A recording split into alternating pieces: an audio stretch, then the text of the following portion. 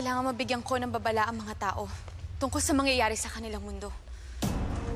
Mapipigilan ng lahat ng ito, anak, kung mawawala ang anak ng dilim. Kung papatayin mo siya. Ina, sinisikap na ho ni Juan na ayusin ang kanyang tadhana.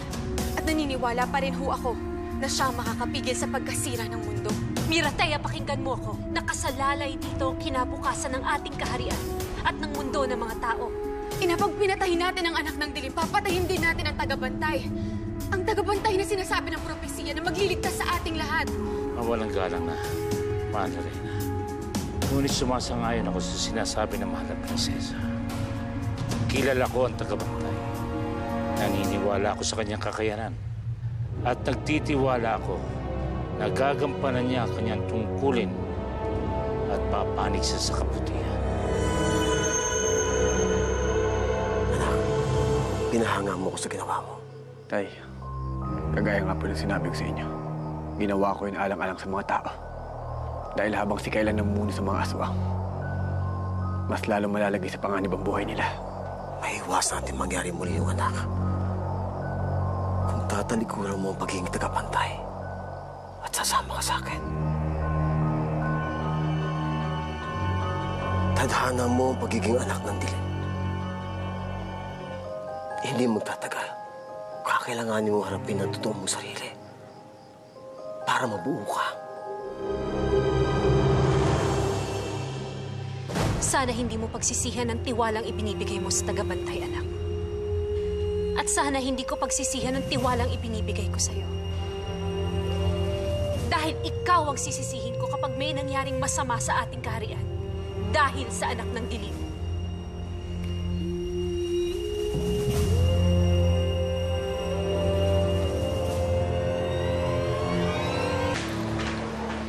Mira, may problema daw sa kaharian ninyo. Hindi sa kaharian namin, Juan. Kundi dito, sa mundo ninyo.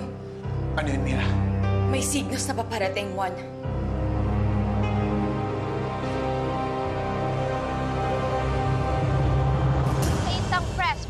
Kanina, inanunsyo ng Philbox ang nakakaalarmang balita. Apat na bulkan sa iba't ibang panig ng Pilipinas ang bigla at sabay-sabay na nagpakita ng activity. Ito po ang Anilaw Hill sa Batangas, Mount Catmon sa Cebu, Mount Makiling sa Laguna at Dos Hermanas Peak sa South Cotabato. Nung pumutok ang Pinatubo, nagdilim po ang kalangitan sa mga areas na malapit sa bulkan dahil sa abong nanggagaling dito.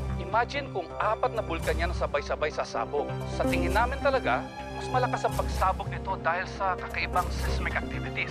Kaya pinapakiusapan po ang lahat ng malapit sa mga bundok na ito. Lumikas na kayo dahil hindi po natin talaga alam kung kailan sasabog ang mga ito. Ama, pagputok ng apat na bulkan, magdidilim ang buong kalangitan ng mga ilang araw. Maaring ito ang sinasabi sa atin ng ating propesiya. Paparating na ang tatlong araw ng kadiliman. Ama, ito na ang senyales o signos na magtatagumpay ang anak ng Diyos.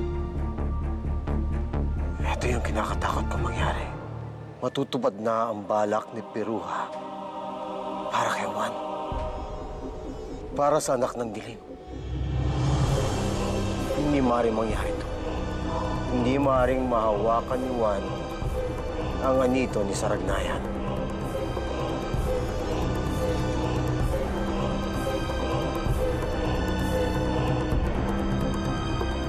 Tutupad na ang pangitain ng tatlong Maria. Mahal na prinsesa, hindi ako makapaniwala na agad-agad matutupad ang pangitain. Marahil dapat natin pagtagdi-tagniin ang mga pangyayari bago tayo makabuo ng isang konklusyon na may kagagawan nito ay spiruha. Kung yun ang sinasabi ng tatlong Maria, naniniwala ako, Agor. Pero baka naman nagpapanik lang tayo. Baka naman nagkataon lang. At di yan tungkol kay Saragnayan o kay Peruga. Juan! Juan! La, Asyong, ako, yung balita sa TV, yung mga bulkang sasabog, napanganipan ko yung kagabi. May kailaman yun sa diwatang itim. Yung sinasabi ko ba sa'yo? Kung totoo ang sinasabi niyo, kailangan ko na kumilos agad. Kailangan ko makuha ang bato ng Saragnayan sa tatay ko. Dahil nakasalalay dito ang buhay ng maraming tao.